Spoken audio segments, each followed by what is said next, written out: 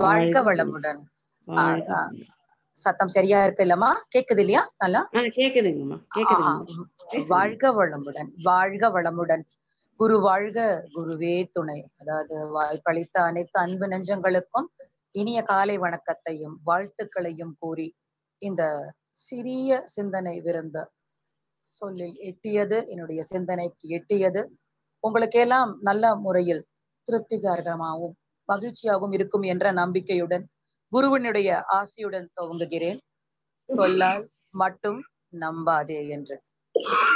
இந்த மனவளக்கலைக்கு உள்ளே வருவதற்கு முன்னால் நாம் எப்படி வாழ்ந்தோம் என்று ஒரு சிறு நொடி நாம் யோசித்து பார்க்கும் பொழுது இதையெல்லாமோ நினைத்து அத்தனை பேருடைய சொற்களையும் கேட்டு அப்படியே வழக்கப்படி விளக்கம் இல்லாமல் மெய்ப்பொருள் ஞானம் இல்லாமல் தான் வாழ்ந்து வந்திருக்கிறோம். எல்லாருக்குமே தெரியும் அப்படித்தான்.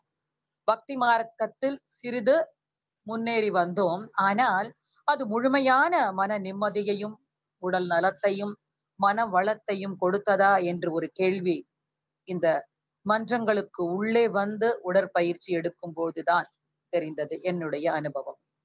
அனுபவத்தின் மூலமாகத்தான் தாய் தந்தை பெற்றோர்கள் நம்முடைய மூதாதையர்கள் அனைவருமே நமக்கு பல மொழிகளை கூறி நல்ல ஆசைகளை கூறி நல்ல சொற்களை எல்லாம் கூறி நம்மை வழி நடத்தி நம்முடைய வாழ்க்கையில் பெரும் பங்கு வகித்தார் வகித்தார்கள். இதை நாம் மறக்கவே முடியாது மறுக்கவும் முடியாது.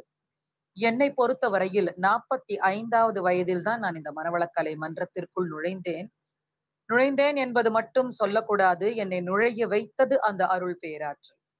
நிச்சயமாக அஹ் மற்றவர்களுக்கெல்லாம் எப்படி என்று எனக்கு தெரியாது. ஆனால் மனிதன் அத்தனை பிரச்சனைகளும் வேதனைகளும் தலை தூக்கி நிற்கும் பொழுது என்ன செய்வது என்று தெரியாமல் குழம்பிய நிலையில் இருக்கும் போது குரு தானாகவே வந்து சேர்ந்தார் என்பதை நான் பின்பு இதில் நல்ல பயிற்சி பெற்று பிரம்மஞானம் ஆசிரியர் பயிற்சி டிப்ளமா படிப்பு என்று குடுவாஞ்சேரியில் எடுத்த பொழுது நல்ல விதமாக உணர்ந்து கொண்டேன். உணர்ந்த அன்று இது முன்னரே கிடைத்திருக்க கூடாதா அந்த பிரச்சனைகளெல்லாம் எனக்கு வந்திருக்காதே என்று பலமுறை யோசித்து பார்த்தேன். ஆனால் அதற்கு எல்லாவற்றுக்குமே ஒரு நேரம் இருக்கிறது. உப்பது ஒரு காலம் காய்ப்பது ஒரு காலம் கனிவது ஒரு காலம். எனக்கும் இந்த காலம். அதே போன்றுதான் மற்ற அன்பர்களுக்கும் ஏற்பட்டிருக்கும் என்று நினைக்கிறேன் நான். இப்போது இந்த தலைப்பை நான் எடுத்துக்கொண்டேன் என்றால் அதற்கும் ஒரு சிறிய வரலாறு உண்டு. ஆஹ் மற்றவர்கள் அனைவருமே தலைப்பு வேறு தத்துவங்கள் இப்படி எல்லாம் போகும்போது இந்த பாடல்களில் அருட்டந்தை அவர்கள் வழங்கிய பாடலில் எனக்கு மிகவும் ஈர்ப்பு. ஏனென்றால் சிறு வயதிலிருந்தே அந்த இசையில் அந்த ஞானத்தை பெற்றவள். என்னுடைய தாய் தான் எனக்கு குரு. அப்புறம் சிறிது மேலோங்கி ஒரு ஆசான் அவர்கள் கற்றுக் கொடுத்தார்கள் எனக்கு. ஒரு மாஸ்டர்கிட்ட கத்துக்கிட்டேன். அதனால இதுக்குள்ளே வந்த பொழுது இந்த கவிதைகள் எனக்கு மிகவும் பிடித்தது. உடற்பயிற்சி செய்து பின்பு தவம் எடுத்துக்கொண்ட பிறகு தீட்சை எடுத்துக்கொண்ட பிறகு இந்த கவிதைகள் எல்லாம் எனக்கு மிகவும் மிகவும் என்னுடைய புண்களை ஆற்றும் வண்ணமாக இருந்தது. அதனாலதான் முன்னாடி எல்லாம் கொடுக்கும்போது நிறைய இடத்துல பாடல்களை எடுத்துக்கொண்டு அதற்கு விளக்கம் கூறுவது என்று துவங்கி அவருடைய பாதையில் சேவை செய்து கொண்டு வருகிறேன். அப்படி எடுக்கும் போதுதான் நேற்று ஐயா அவர்கள் கேட்டும்போது உடனடியாக எனக்கு இந்த சொல்லால் மட்டும் நம்பாதே என்று அந்த வார்த்தை உடனே சொல்லிவிட்டேன். சொல்லிவிட்டேனே தவிர அது இதை பற்றி என்ன பேசுவது என்று ஏனென்றால் கருத்துக்கள் நல்ல விதமாக போய் சேர வேண்டும். அந்த நிலையில் எத்தனை வருடம்தான் இதில் பயிற்சி பெற்றாலும் மற்றவர்களிடம் இந்த கருத்தை தத்துவத்தை கூறும் பொழுது இன்னும் எவ்வளவு சிறப்பாக கொடுக்க முடியும் என்ற அந்த ஆர்வம் தான் மேலெழுகிறது. சொற்கள் நாம் பல விதமாக பல பேரிடமிருந்து கேட்டிருக்கிறோம். இந்த சொற்கள் நமக்கு உதவுகின்ற நிலையில் இருக்கிறதா? அனைத்திலுமே பார்த்தால் இரண்டு இரண்டாக இருக்கும் இல்லையா? நம்முடைய உருவத்தில் பார்க்கும்போது இரண்டு காதுகள் இரண்டு கண்கள் இரண்டு கைகள் இரண்டு கால்கள். வேடிக்கையாக கூட சொல்லலாம் வாய் மட்டும் ஒன்றுதான். அது மட்டும் இரு நிறைய இருந்தால் எப்படி இருந்திருக்கும்? ஒரு வாயை வைத்துக் கொண்டு இத்தனை குழப்பங்கள் ஏற்படுகிறது அல்லவா? சோ அந்த ரெண்டு ரெண்டா இருக்கும் போது இன்பம் துன்பம் என்பது இரண்டு இரவு பகல் இரண்டு இரண்டு. அப்போ அதன் மூலமாக அந்த சொற்கள் வரும் பொழுது எண்ணத்தின் வழியாக சொற்கள் இந்த சொற்கள் நமக்கு இன்பத்தை மட்டும்தான் தருகிறதா? இல்லை. துன்பம் அதிகமாக கொடுக்கிறது. இன்னும் தத்துவத்தில் ஆழ்ந்து சென்றால் சொல்லலாம் பல ஆன்மீக தலைவர்கள் கூறுவது துன்பம் எவ்வளவு நமக்கு கிடைக்கிறது அந்த அளவு நாம் இறைநிலையை நோக்கி செல்கிறோம். இறைநிலை வைத்த பரீட்சையில் அந்த சோதனையில் முன்னேறி செல்கிறோம். ஏனால் ஏனென்றால் அதன் மூலமாக தான் நமக்கு நிறைய அனுபவங்களும் நிறைய போதனைகளும் நிறைய விஷயங்களும் புரிய வருகிறது. பெற்றோர்கள் மூதாதையர்கள் அவர்கள் தன்னுடைய அனுபவத்தில் கொடுத்ததுதான் நமக்கு வாழ்க்கையில் வழிகாட்டியாக இருந்திருக்கிறது. பக்தி நெறியில் சென்றோம் பல ஆலயங்களுக்கு சென்றோம். ஆனால் அந்த ஆலயத்தில் என்ன செய்தோம் என்பது நமக்கு தெரியாது. அங்க போவது அங்கே வந்து தீபாரதனை காட்டினார்கள் கற்பூர ஜோதி பின்பு ஊதுவத்தி மணங்கள் மலர்களால் அலங்கரிக்கப்பட்டிருந்தது. அங்கே சென்றோம். சென்று விட்டு எதை வேண்டிக் கொண்டோம்? எதை வேண்டுவது என்று தெரியாமல் வேண்டல் வளம் புரியாமல் நாம் இருந்த நிலை இந்த அருட்தந்தையின் மனவளக்கலை மன்றங்களுக்குள் நுழைந்து நாம் சிறிது சிறிதாக அகத்தாய்வு பயிற்சிகள் எல்லாம் செய்து செய்து அதில் ஊறி ஊறி நிற்கும் பொழுதுதான் அந்த ஒன்றி ஒன்றி அந்த அறிவை பழக்க முடிந்தது. பின்புதான் இந்த பக்தி மார்க்கம் என்பது என்ன என்பது புரிந்தது. எதற்காக கோவிலுக்கு சென்றோம்? ஆன்மா லயப்படும் இடமான ஆலயம் அதில் சென்றோம். குழப்பங்களுக்கு பிரச்சனைகளுக்கு வேதனைகளுக்கு நமக்கு அங்கே ஒரு தீர்வு கிடைக்கிறது என்ற ஒரு நம்பிக்கையில் நம்பிக்கை சென்றுதான் பார்த்தோம். அதற்கு இங்கே அருட்தந்தை மிக அழகாக ஒரு கருத்தை சொல்கிறார். விளக்கத்தை கடவுளை வணங்கும் பொழுது கருத்தினை உற்றுப்பார். நீ கருத்தை கடவுளாய் நிற்கும் காட்சியை காண்பாய். ஆமாம் அதுதான் செய்தோம். நம்மை நாமே தான் தெளிவுபடுத்திக் கொள்வதற்குத்தான் அதையெல்லாம் நாம் செய்து கொண்டு வருகிறோம். ஜோதி வடிவாக ஆதி மனிதன் அந்த இறைநிலையை உணர்ந்தான். நெருப்பு. பின்பு அங்கே சுற்றி கோவிலை சுற்றி பிரகாரங்களிலெல்லாம் எழும்பும் அந்த அகிர் புகை சாம்பிராணி போன்ற வாசனைகள் கற்பூர ஜோதியில் ஒளி வடிவாக இறைவனை கண்டோம். அந்த இறைவன் என் என்ன இந்த மெய்ப்பொருள் என்ன தெய்வம் பகவான் கடவுள் பல வடிவங்களாக எத்தனையெல்லாமோ யார் யாரோ சொன்னார்கள் என்று எங்க எல்லாமோ போயிருக்கிறோம் நாம்.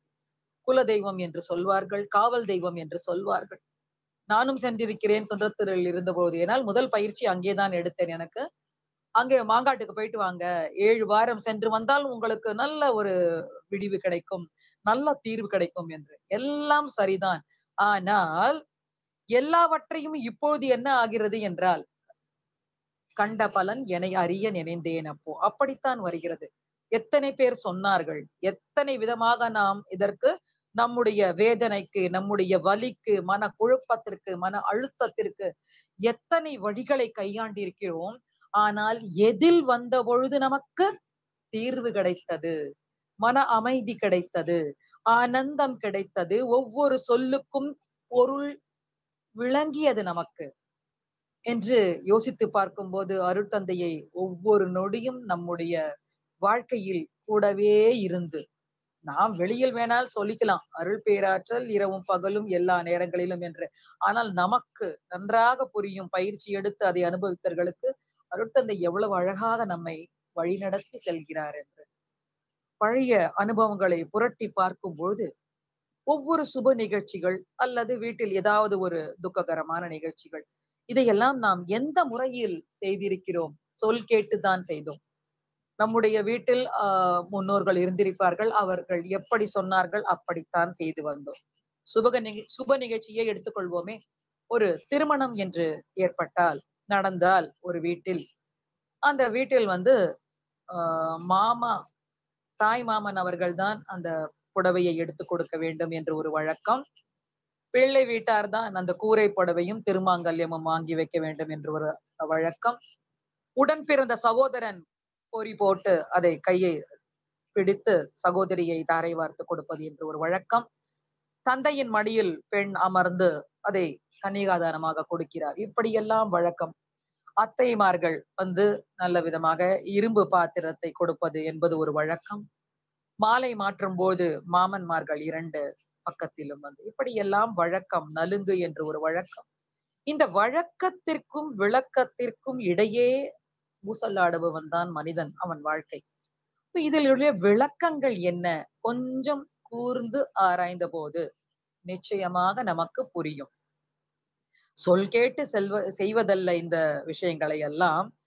உறவினர்கள் எல்லாம் ஒன்று கூட வேண்டும். எப்படியாவது ஒன்று கூட வேண்டும். பழைய காலத்தில் இன்னும் இணைந்திருந்தார்கள். இப்பொழுது பார்த்தால் எல்லாமே எல்லாமே அதுவும் இந்த நோய் வந்து தாக்கிய நிலையில் இருபது பேர் தான் ஐம்பது பேர் தான் நூறு பேர் தான் நல்ல சமூக இடைவெளி இருக்க வேண்டும். முகக்கவசம் அணிய வேண்டும். நோய் தொற்று அனைவருக்கும் நோய் ஏற்படக்கூடாது என்ற நிலையெல்லாம் இரு- இருந்து வருகிறது.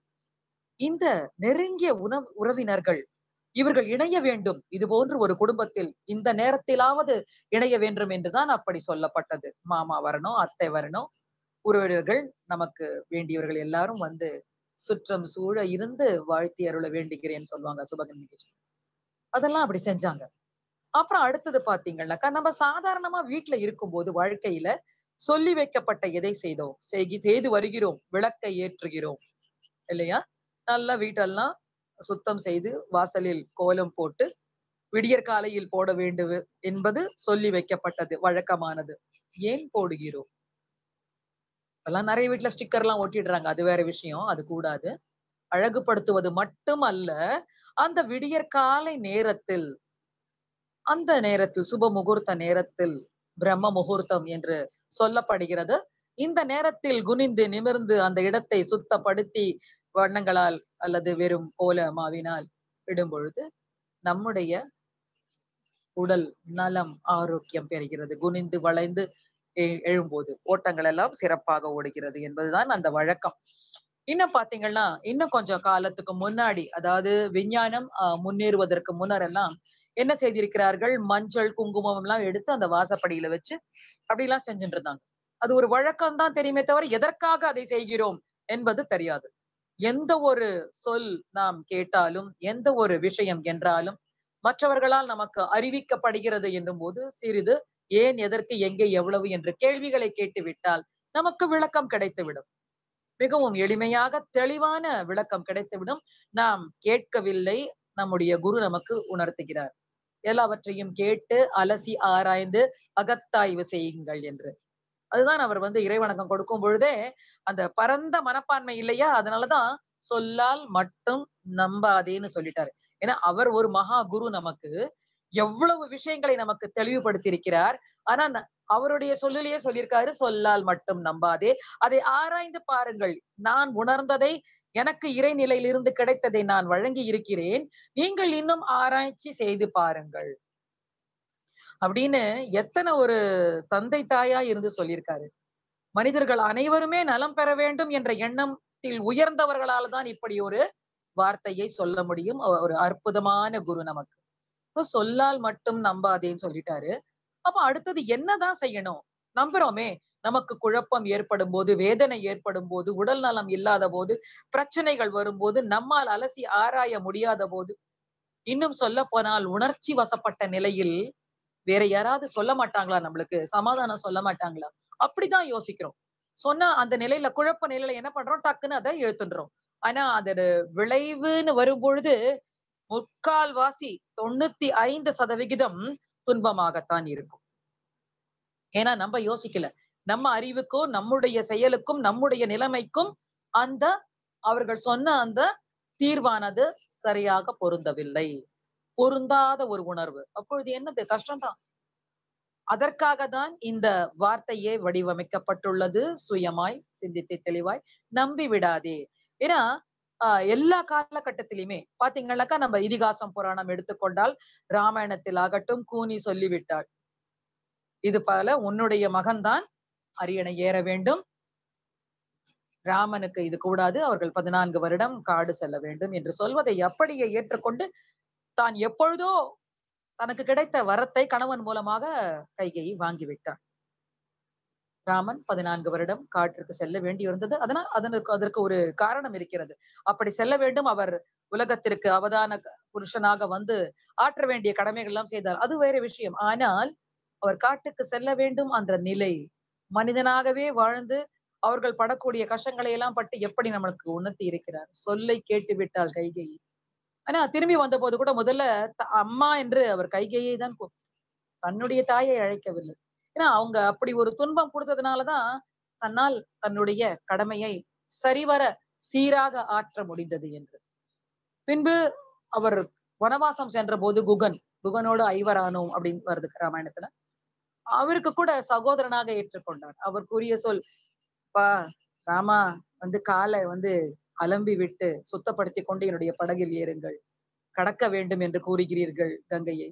ஏன் அப்படி சொன்னா அப்படின்னாக்கா அவருடைய கால்பட்டு சாதாரண கல் அகலிகையாக மாறிவிடவில்லையா?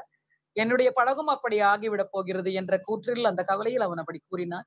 ஆனால் உண்மையான விளக்கம் என்னவென்றால் அப்படி தெய்வ நிலை உணர்ந்த தெய்வீகமான தெய்வ பிறவியாக உலகத்தில் மனிதனாக உருவெடுக்க வந்த ராமனின் பாதம் தன் கைகளால் கழுவப்பட வேண்டும் என்ற அந்த ஒரு உணர்வு. இப்படி சொல்லி வைக்கப்பட்டது சொல்லி வைக்கப்பட்டது கேட்டு அதில் இன்பம் பெற்றால் அதன் விளைவு சிறப்பாக இருக்கும். எதை சொல்கிறார்கள் எந்த இடத்தில் சொல்கிறார்கள் எதற்காக சொல்கிறார்கள் என்று நாம் பேரறிவிலிருந்து பெற்ற இந்த மனித ரூபத்தில் சிற்றறிவால் சிந்தனை செய்து பார்த்தால் நம்முடைய சிந்தனை உயர்ந்தால் அறிவாட்சி தரம் உயர்ந்தால் நிச்சயமாக நமக்கு கிடைக்கப் போவது இன்பம்தான். உலகத்தில் இன்பமாக வாழ்வதற்குத்தான் நாம் வந்திருக்கிறோம். சொல் என்பது அதாவது கல்லடிப்பட்டாலும் பரவாயில்லை அது அந்த புண் ஆறிவிடும். சொல்லடிப்பட்டால் நிச்சயமாக அது கருமையத்தில் ஆழமாக பதிந்து நம்மை சுற்றி சுற்றி கேள்விகளை தான் எழுப்பிக் கொண்டிருக்கும். இது உண்மை. மகாபாரதத்திலும் கூறப்பட்டிருக்கிறது கர்ணன் குந்தி இடையே நடந்த நிகழ்வு. மிகவும் அழகாக சாதுரியமாக தெய்வ நிலை பெற்ற கிருஷ்ண பரமாத்மா சொல்லி அனுப்புகிறார் இரண்டு வரம் கேட்டு வாருங்கள் கர்ணனிடம் என்று. கர்ணன் யார் என்று கண்ணனுக்கு தெரியும். அர்ஜுனன் மீது இரண்டு முறைக்கு அதிகமாக நீ அம்பை எய்யக்கூடாது என்று வரம் வாங்கி வா. இவ்வளவு காலம் கழித்து இவள்தான் என்னுடைய தாய் என்று உணர்ந்த மகிழ்ச்சியை கர்ணனால் அனுபவிக்க முடியவில்லை. இப்படி வரம் கேட்டு ஏனால் கொடுத்து கொடுத்து சிவந்த கை அவனுடைய கை. கொடுத்து விட்டான் வரத்தை. ஆனா ஒரே ஒண்ணு கேட்டுக்கிட்டான் கர்ணன். அம்மா இந்த போரின் முடிவில் யாருக்கு மரணம் வரும் என்று தெரியாது. விழத்தான் போகிறேன். அப்படி நான் இறந்து விட்டால் என்ன மடியில எடுத்து வச்சுக்கிட்டு மகனேன்னு சொல்லிடுங்க. அது ஒண்ணு மாத்திரம் போறோம். என்னுடைய வாழ்க்கையில நானு நிம்மதியா தெய்வ நிலைக்கு போய் சேர்ந்துருவேன் சொல் சொல்லிய சொற்கள். சொற்கள் பலவிடமாக பல இடத்திலிருந்து நமக்கு வந்து சேர்கிறது. ஆனால் எதை எடுத்துக்கொண்டு நாம் நம்முடைய வாழ்க்கையில் பயன்படுத்தினால் அதன் மூலமாக வந்த நிலையை வாழும் நிலை உணர வேண்டும் என்று கூறப்பட்டிருக்கிறது அல்லவா நம்முடைய பாடலில் ஆதி எனும் பரம்பொருள் என்ற பாடலில். இறைவணக்கமாக எத்தனை அருமையான சொற்களை போட்டு வைத்திருக்கிறார் நம்முடைய குரு. ஒவ்வொன்றாக உணர்ந்து தான் உணர்ந்ததை மனிதர்களுக்கு கொடுக்க வேண்டும். இவர்கள் உணரட்டும் தெய்வ நிலையை என்ற அந்த ஆர்வத்தில். இப்படி ஒரு குரு வேற எங்கேயும் நான் பார்த்ததில்ல. ஏன்னா பாட்டு இசையெல்லாம் கத்துக்கொள்ள சென்ற பொழுது அங்கே ஒரு குரு கிடைத்தாங்க. இசையில நல்லா இருந்தது. அதுக்கப்புறம் ஆச்சாரியாலையும் நான் பார்த்திருக்கேன் ஒரு பத்து பதினோரு வயசுல. நல்லா இருமான்னு சொல்லிட்டு ஆசீர்வாதம் கொடுத்தாரு. எத்தனையோ எத்தனையோ வாழ்க்கையில் ஏற்பட்ட சம்பவங்கள். ஆனா இந்த ஒரு குரு போல தெளிவு எங்கேயுமே கிடைக்கல. தெளிவு குரு திருமேனி காண்டல் தெளிவு தெளிவு குருவார்த்தை குரு வார்த்தை கேட்டல் குருவார்த்தை செப்பல் தெளிவு குரு குரு சிந்தித்தல் தானே அப்படின்னு சொல்றார் இவர் மட்டும்தான் குரு. வெறும் புகழ்ச்சி இல்லை உண்மைதான். உணர்ந்தவர்களுக்கு நிச்சயமா தெரியும் அது. நல்லா உள்ள போயிட்டோம்னாக்கா ஆரம்பத்திலேயே மன்றங்களுக்கு செல்லும் பொழுது தீட்சை வழங்கப்படுவதில்லை உடற்பயிற்சி கொடுக்கப்படுகிறது. அந்த உடற்பயிற்சியே உடல் நலம்தான். அது உடல் தவம்தான். நிச்சயமாக அங்கே ஒவ்வொன்றாக கற்றுக் கொடுப்பவர்கள் சொல்லியதை கேட்டு கேட்டு நாம் செய்யும் போது நிச்சயமாக பலவிதமான பலன்கள். ஒன்றல்ல இரண்டல்ல. ஒன்றல்ல இரண்டல்ல இத்தனை ஆஹ் கடினமான ஆசனங்களை எல்லாம் பார்த்திருக்கிறோம் நாம். அதன் மூலமாக கிடைக்கின்ற அத்தனை பலனும் இந்த எளிமையான பயிற்சியும் சொல்லப்பட்டது. பின்பு நாம் செய்தோம் அதை கேட்டு வாங்கி ஆசிரியர்கள் சொன்னதை செய்தோம். பின்புதான் தீட்சை அளிக்கப்பட்டது. எவ்வளவு மகா விஷயம். அந்த தீட்சை அளிக்கப்படும் போதும் பலவிதமான வார்த்தைகளை கேட்டிருக்கிறோம். இப்படித்தான் அமர வேண்டும். இப்படித்தான் செய்ய வேண்டும். தவத்தின் மூலமாக என்னவெல்லாம் பலன்கள் கிடைக்கும் என்று சொல்லி வைக்கப்பட்டிருக்கிறது. சொல். அந்த சொல். இப்படி அமைந்து அமைதியாக உருவத்து மத்தியில் உங்களுடைய கவனத்தை கொண்டு வாருங்கள். பின்பு முதலாக ஏற்றி வைக்கும் போது தீட்சை வழங்கும் போது என்னுடைய கையுடன் இணைந்து வாருங்கள். பின்பு அவர்கள் ஆசிரியர்களின் மூலமாக நமக்கு வாழ்த்து கிடைக்கும் போது அப்பொழுதும் சொல்லப்பட்டது சொல். இந்த உயிர் உய்வதற்காக ஆற்றலை பாய்ச்ச போகிறேன். இறை அருளும் குரு அருளும் தொடை புரியட்டும். நமக்கு எல்லாருக்குமே அப்படித்தான். அந்த சொல்லி வைத்த சொல் நம்பும்படியாக யோசித்து பார்த்தால் இன்று ஒரு பேராசிரியர் என்று பேசிக் கொண்டிருக்கிறேன். ஆனால் அந்த முதல் நாள் இப்பொழுதும் எனக்கு ஞாபகம் வருகிறது. எப்படி எந்த விதமாக அமர்ந்து நான் அந்த தீட்சையை ஏற்றுக்கொண்டேன்? அன்று திறந்த ஜோதிதான் அது. புருவத்து மத்தியில் இன்று வரைக்கும் அது திருவண்ணாமலையில் நம்ம கேட்டிருப்போம் இல்லையா? அணையாத ஜோதின்னு. நம்மளுக்குள்ள இருக்கிற அந்த ஆகினை என்ற இடத்தில் அந்த ஜோதி அணையாமல் சிறிதும் ஆற்றல் குறையாமல் நல்ல விதமாக வழி நடத்தி வருகிறது. அப்படி பார்த்தோம்னாக்கா சின்ன வயசுல இருந்து அம்மா அப்பா நம்மளுடைய மூதாதையர்கள் பள்ளிக்கூடம் சென்றால் ஆசிரியர்கள் கல்லூரியில் எல்லா இடத்துலையுமே அலுவலகங்களில் எத்தனையோ உயர் அதிகாரிகள் மேலர் நம்மை விட மேல் பகுதியில் தொகுதியில் இருப்பவர்கள். நாம் கஷ்டப்படும் போதெல்லாம் நமக்கு உதவியர்கள். ஆழ்ந்த மனத்திலிருந்து உள்ளார்ந்த அன்புடன் நமக்கு கிடைத்த எத்தனையோ போதனைகள் அவர்கள் சொல்லிய சொற்கள். அதெல்லாம் நமக்கு எவ்வளவு தூரம் பயன் அளித்துள்ளது என்பதை நினைத்து பார்க்கும்போது நன்றி உணர்வு இருக்கிறது. ஆனா எல்லா எல்லாமே கேட்டிருக்கோம். எத்தனையோ பாடங்களை படித்திருக்கிறோம் தத்துவங்கள் கேட்டிருக்கிறோம். திரைப்படத்திலும் கண்ணதாசனுடைய பாடல்களை கேட்டிருக்கிறோம். கண் போன போக்கிலே கால் போகலாமா என்று. எத்தனையோ தத்துவங்களும் இருக்கிறது. ஆனாலும் நம்மளுடைய இந்த மனவளை கலை மன்றத்தில் அருட்தந்தையின் மூலமாக சொல்லி வைக்கப்பட்ட சொல் அந்த சொல்லுக்கு எவ்வளவு ஆழமான அர்த்தம். மேலோட்டமாக பார்த்தால் இவருடைய தத்துவங்களில் இது சின்ன குழந்தை சொன்ன மாதிரிதான் இருக்கும். ஏன் அப்படி சொல்றேன் அப்படின்னாக்கா எல்லாருக்கும் புரியுற மாதிரி எவ்வளவு தெளிவாக கொடுத்திருக்கிறார். ஒரு சீடி நான் வச்சிருக்கேன் அவர் இங்கிலி ஆங்கிலத்தில் பேசியது கூட. மொழி ஒரு தடையே இல்லைன்ற மாதிரி அவ்வளவு அழகா பேசியிருக்காரு அவரு. எல்லாருக்குமே புரியும். புரியாத மாதிரி எதுவுமே இல்ல. நாள் ஒரு நற்சிந்தனைன்னு கொடுத்திருக்காரு. அதுல பாத்தீங்கன்னாக்கா தினமும் நம்ம என்னெல்லாமோ காரியம் பண்ணிட்டு இருக்கோம் அதை எடுத்து படுத்திக்கும் போது அதில் கோர்க்கப்பட்டிருக்கின்ற சொல் ஒவ்வொரு மணியாக கோர்த்து கோர்த்து கோர்த்து மாலையாக கொடுத்திருக்கிறார். அதை படித்து பார்த்தாலே போரும். எத்தனையோ வருடங்களாக படித்திருக்கிறேன் படித்து கொண்டிருக்கிறேன். ஆனா ஒவ்வொரு நாளும் அந்த சொற்களில் இருந்து புதிய புதிய அர்த்தம் பொருள் விளக்கம் கிடைத்து வழி நடத்தி கொண்டே இருக்கிறது. எத்தனை காலம் நாம் இங்கே வாழப் போகிறோம் பூமியில்? அந்த கடைசி மூச்சு வரைக்கும் கூட நல்ல விதமாக நாம் உணர்ந்ததை நாம் பெற்றதை மக்களுக்கு கொடுக்க முடியும் என்ற அந்த நம்பிக்கையோடு நிச்சயமாக நிறைவான ஒரு வாழ்க்கை. அருட்தந்தையின் சொல்லின் மூலமாக. ஏனென்றால் அது அருள் பேராற்றலின் அன்பு குரல். அதிலிருந்து வந்துதான் அருட்தந்தையின் சொல் இல்லையா? அந்த சொல்லின் மூலமாக அவர் சொல்வதை முதலில் ஆஹ் நன்றாக விளக்கம் தெளிவு பெற்று அவருடைய வார்த்தைகளை ஒவ்வொரு பாடமாக எடுத்து படிக்கும் போது சர்டிபிகேட் எல்லாம் பெரிய விஷயமே இல்லை. சான்றிதழ்கள் கிடைத்துவிடும். அதில் ஒன்றும் எந்த விதமான சந்தேகமும் இல்லை. அழியாருக்கு போறோம் எம்ஆர்சிக்கு போறோம். இன்னும் நம்மை விட மூத்த பேராசிரியர்கள்லாம் அருட்தந்தையுடன் இருந்து அவர்களுடன் காலம் கழித்து அவர் சொற்களை நேரடியாக வாங்கின பேராசிரியர்கள் எல்லாம் நடத்தும் பொழுது ஆஹா இதுக்கு மேல என்ன வேணும் நமக்கு உலகத்துல? பிறந்து வந்தது. தந்தை தாயின் மூலமாக நம்ம பூமியில பிறந்த வந்த அந்த பலனை வந்து நம்ம அடைஞ்சிட்டோம் அப்படின்னு சொல்லும் பொழுது என்னை பொறுத்த வரைக்கும் நான் வந்து பாடல்களிலே தான் பின்னாடி போயிடுவேன். எவ்வளவு கஷ்டம் வந்தாலும் எத்தனை துயரம் வந்தாலும் வரதான் செய்யும். உடனே மனவள பல கலை பேராசிரியர்கள் அவங்களுக்கு கஷ்டமே வராது அப்படிலாம் கிடையாது. நிச்சயமா பூமியில் வாழ்ந்து கொண்டிருக்கிறோம். சூழ்நிலைகள் சந்தர்ப்பத்திற்கு ஏற்ற போது வரதான் செய்யும். ஆனா நம்மால முடியும். அதை தாங்கி கொண்டு அந்த நிலையிலும் அதற்கு தீர்வு காண முடியும் என்பதுதான் இதில் கிடைத்த நமக்கு வரம். கோவிலில் செல்கிறோம். ஆன்மா லயிக்கிறது இப்பொழுது. ஸ்லோகங்கள்லாம் நான் ரொம்ப படிப்பேன். எட்டு வயசுல இருந்தே வந்து அப்பா சொல்லி கேட்டு கேட்டு ஸ்லோகங்கள்லாம் படிப்பேன். அந்த ஸ்லோகங்களுக்கு எத்தனை புதுமையான அர்த்தங்கள் அந்த சொற்களுக்கு எவ்வளவு தெளிவான அர்த்தங்கள் கிடைக்கிறது நல்லா புரியுது. அப்ப அதை சொல்லும் போது கூட ரொம்ப நல்லா இருக்கு. லலிதா சாசனமாக இருக்கட்டும் விஷ்ணு சகசனமாக இருக்கட்டும் லிங்காஷ்டமாக இருக்கட்டும் எதுவாகவும் இருக்கட்டும்.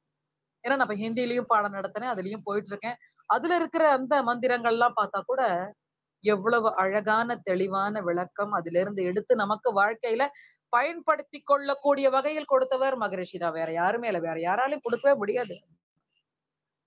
அவ்வளவு தெளிவா கொடுத்திருக்காரு. அதெல்லாம் எடுத்து பாருங்க. அவர் மன்றத்துல முதல் முதல்ல நான் சேவை செய்ய போன போது எனக்கு கிடைத்த சொல். என்னிடம் கேட்கப்பட்ட கேள்வி. ஏமா இதுல வந்த அப்புறம் வந்து கோவிலுக்கு எல்லாம் போக கூடாதானு போங்க. ரொம்ப ஆழமா சொல்லிட்டேன் நான். நிச்சயமா போங்க. ஏன்னா மக்களுடைய இயல்பு அது. அதை மாத்த முடியாது. அதுல இருந்து மாத்தி நீங்க இங்கதான் வரணும் தவம் செய்யணும்னு சொன்னா யாரும் கேட்க மாட்டாங்க. அந்த சொல் அவர்களுக்கு பிடிக்காது. நம்முடைய தன்மையெல்லாம் மாற்றிக்கொண்டு இவங்க என்ன சொல்லி கொடுக்குறாங்கன்னு சொல்லிட்டு. போயிட்டு வாங்க. ஆனா அதுல தெரிஞ்சுக்குங்க. நீங்க போயிட்டு வந்தது இங்க உட்கார்ந்து தவம் செய்வது இரண்டையும் இணைத்து பார்க்கும் பொழுது அந்த சொல் புரியும். அருட்தந்தையின் சொல் புரியும். அப்படின்னு சொல்ற அளவுக்கு வந்து என்னை உயர்த்தியது வந்து குருவுடைய வார்த்தைகள் தான். வேற யாராலையும் இந்த மாதிரி பண்ணவே முடியாது. ரொம்ப சுலபமாக சாதாரணமாக இருக்கிற மனிதர்களை அசாதாரண நிலைக்கு மாற்றி உயர்த்தி வாழ்க்கை தத்துவங்களை உணர வைத்து வாழ்வின் நோக்கம் இதுதான். இதுக்காக தான் நீ மனுஷ ஜென்மம் எடுத்து இங்க வந்திருக்க உலகத்துல இருந்து சொல்லி வைக்கின்ற குரு. நிச்சயமா. எதிர்க்க அவரை பார்த்தாலே போறோம் கார்த்தால. வேற ஒண்ணும் செய்ய முடியல. சங்கடமான நேரம் வருகிறது.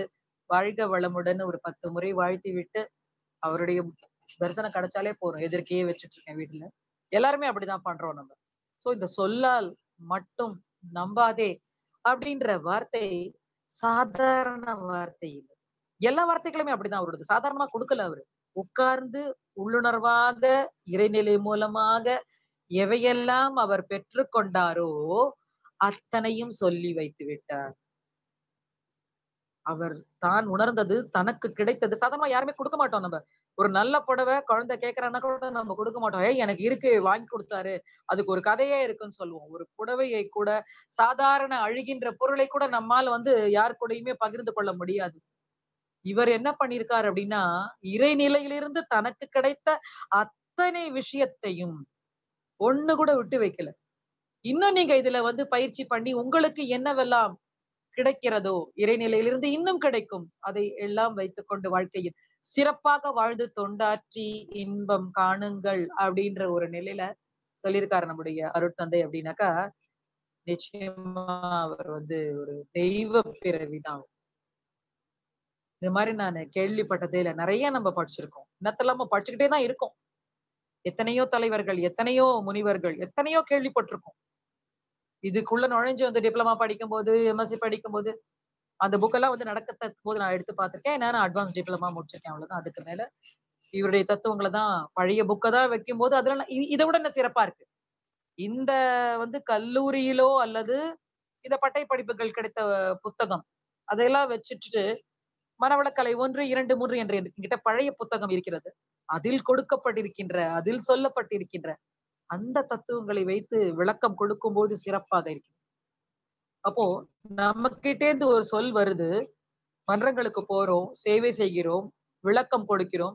அது பவர் பாயிண்டா இருக்கட்டும் வேற என்னமா இருக்கட்டும். இன்னும் விஞ்ஞான ரீதியில் இன்னும் உயர்ந்து சென்று கொண்டேதான் இருக்கிறோம் இல்லையா? சோ உலக சாதனையும் படைக்க போகிறோம். ஸ்கை யோகா டிவின்னு கூட வந்திருக்கு. அந்த சொற்கள் அது குருவினுடையதுதான். அருட்தந்தை வேதாத்ரி மகரிஷி மூலமாக மக்களுக்கு சென்றடைய வேண்டியதெல்லாம் நிச்சயமாக காலத்தில் தகுந்த காலத்தில் தகுந்த மனிதர்களுக்கு நல்ல ஒரு தெளிவை ஏற்படுத்தி உலகத்தில் இந்த காலகட்டத்தில் ஏற்படுகின்ற குழப்பமெல்லாம் நிச்சயமாக நீங்கும். ஒவ்வொருவரும் உணர்வார்கள். நிச்சயமாக உணர்வார்கள். நமக்கு அருமையாக கிடைத்திருக்கின்ற பிரதம மந்திரி மோடி அவர்கள் யோக உடன் செய்கிறார் அவரும் செஞ்சு மற்றவர்களுக்கும் அதை ஊட்டி வருகிறார். செய்ய வேண்டும் என்று தெளிவுபடுத்துகிறார். ரொம்ப அழகாவே செய்யறாரு விளக்கம் சிறப்பாக செய்து இப்படித்தான் செய்ய வேண்டும். அப்படியே அந்த தெய்வ நிலையிலேருந்து வருது போல தோன்றது எனக்கு அவர் பேசும்போதெல்லாம். யோகக்கலை வந்து அவருக்கு ரொம்ப வாழ்க்கையில நல்ல உயர்ந்த இடத்தை கொடுத்திருக்கு.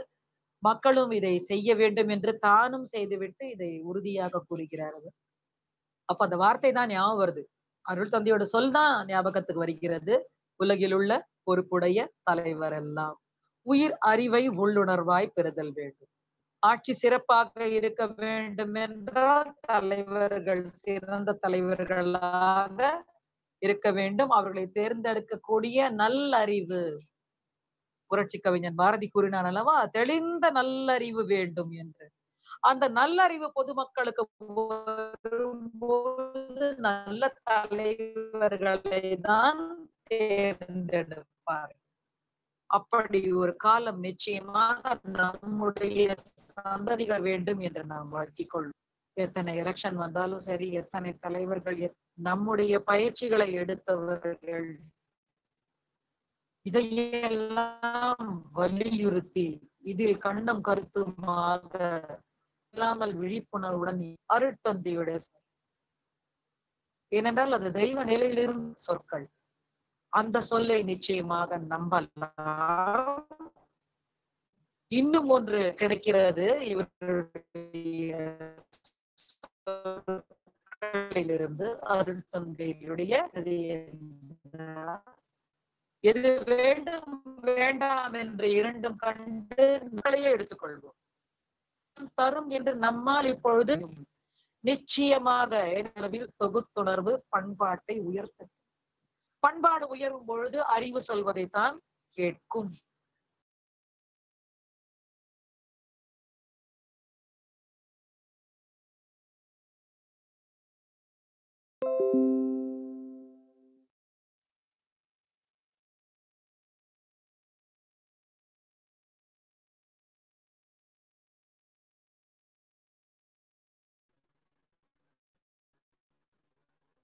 வாழ்க வளமுடன் வாழ்க வளமுடன் கேக்குதாமா அம்மா கேக்குதுங்களாங்கம்மா? வாழ்க வளமுடன் நடுவுல ஒரு சின்ன இது வந்தது போல இடைவெளி.